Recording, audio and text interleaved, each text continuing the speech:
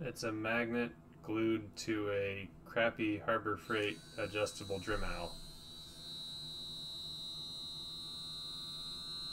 Don't mess it up.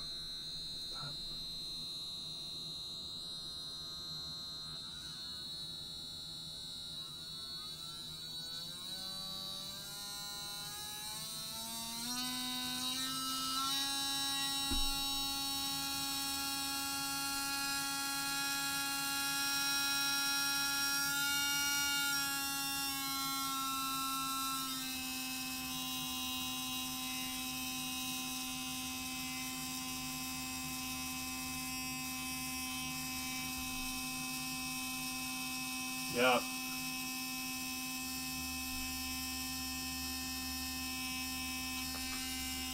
Ow.